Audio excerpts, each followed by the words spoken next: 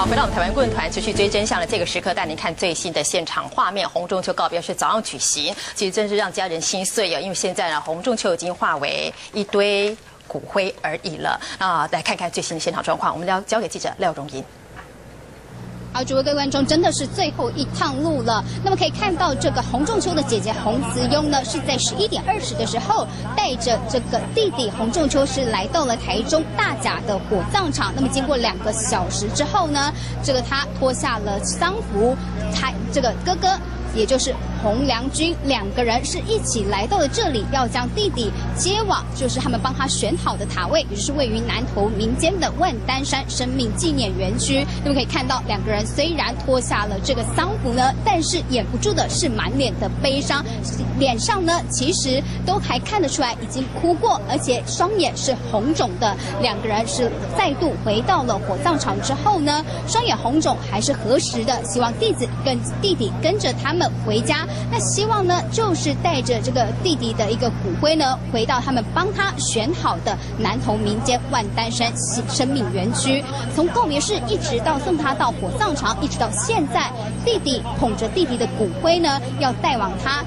回到这个万丹山这个生命纪念园区，其实这一路上对洪家人来说，每一步都是非常的煎熬。但我们可以看到，这个洪仲秋的姐姐洪子庸，以及他的亲生哥哥洪良军，以及弟弟洪良宇，三个人其实都非常的坚强，相互的扶持。这个捧着弟弟洪仲秋的一个骨灰呢，他们要带弟弟走最后一程。那么接下来就是在告别式之后呢，所谓的真相。他们也将会继续的坚持下去。以上是我们来自台中大甲的最新现场直播。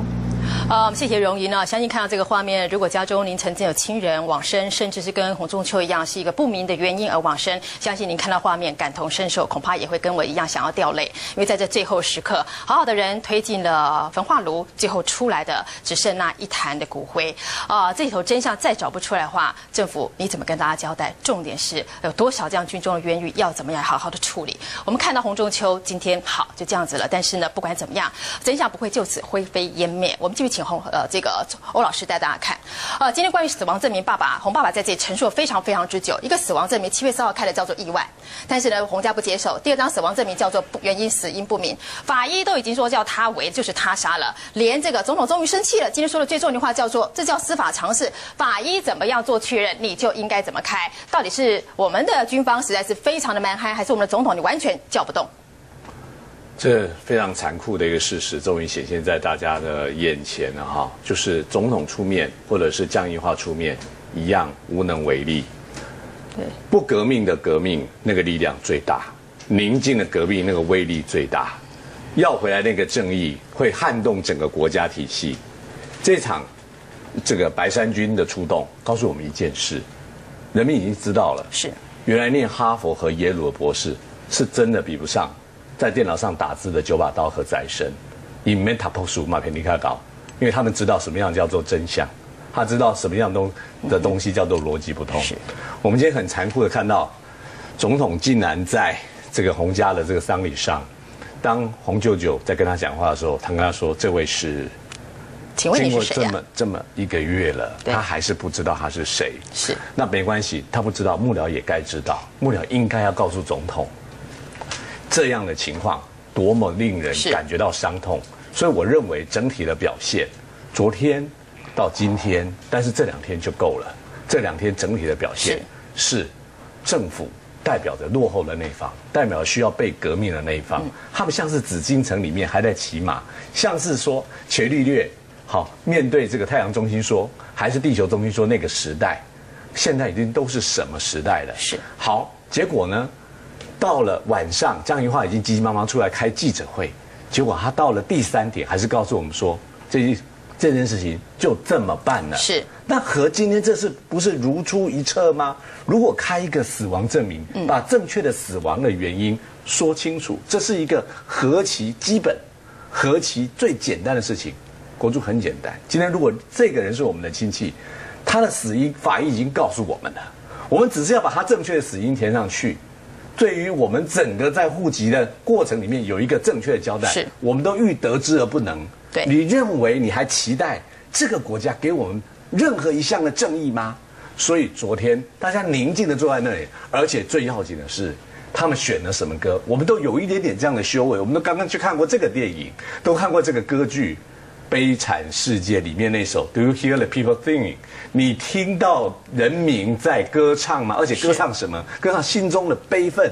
歌唱心，歌唱心中里面的这个郁闷和所有你政府把我们怎么对待的，我们的孩子是交给到你们手上以后，并且我们用各种方法来期盼你、祈求你，请你给我们一点点真相，而欲得之而不能。是，结果二十万人动员了，好，你亲自去了。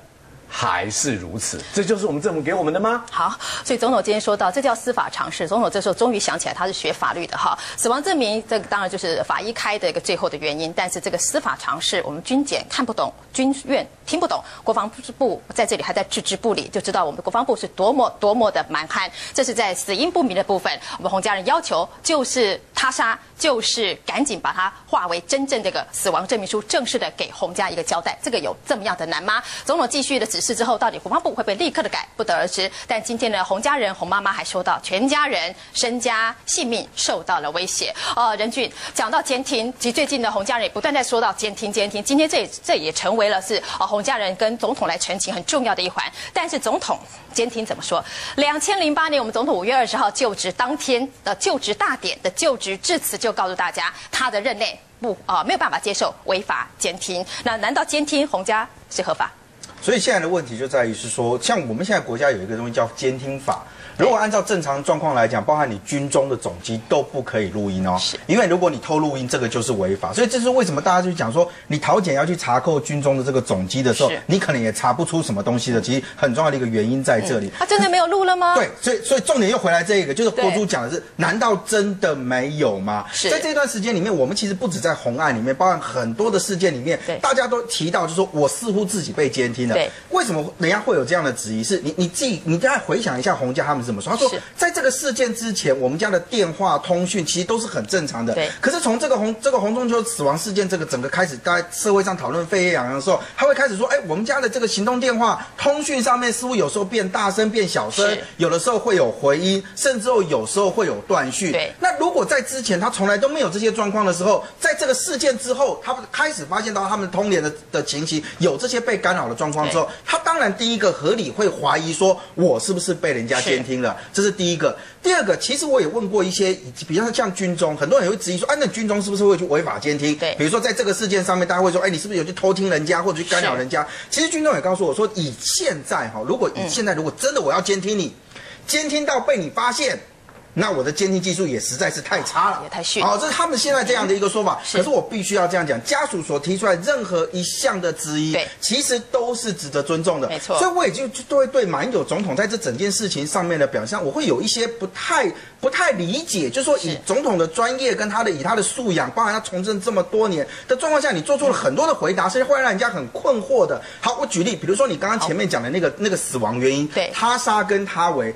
总统，当你在这边说没错，就是应该做他杀。如果如果说法医说他杀，那你就应该写他杀的。你有没有想过，你讲这句话，其实你是狠狠的告诉大家说，我也不相信你军检的调查。没错，因为你军检的这些东西写的就是这个状况嘛。那你现在在这里推翻他了，那请问我民众要怎么样去相信军检呢？我觉得现在很多事情是我们的政府他在某些事件上面。即使你自己认为你自己作为没有错，可是当你面对很多民众的愤怒的时候，你自己反而支支吾吾的，甚至你开始去自打嘴巴的时候，你怎么让人家去相信？是，包括你现在讲说，台湾民主不会有非法监听或选择性的办案，跟政治干预媒体或选务机关的现象，真的是这样吗？我必须要讲哦，如果没有检察官的同意就进行监听，如果有证据就马上研办。我不，我我要跟大家讲一件事情是，我很不喜欢我们的政府官员，现在都讲什么？证据到哪里我就办到哪里。